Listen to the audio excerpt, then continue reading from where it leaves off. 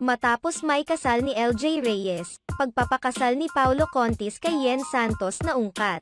Matapos may balitang ikinasal na si LJ Reyes sa kanyang non-showbiz fiancé na si Philip Evangelista. Naging sentro ng usapin sa social media kung kailan naman papakasalan ni Paulo Contis ang kanyang nobya na si Yen Santos.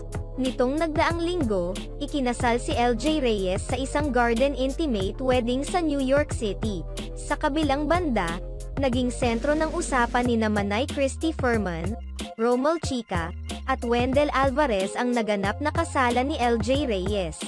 Dahil dito hindi nila napigilan na mabanggit ang dating karelasyon ng actress na si Paolo Contis.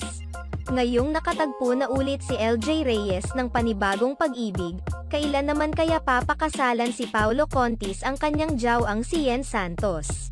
Sa ngayon ay hindi pa talaga maaring magpakasal sina Paulo Contis at Yen Santos dahil hindi pa annulled ang kasal nila ni Lian Paz, na kasalukuyang may kinakasama na rin ngayon.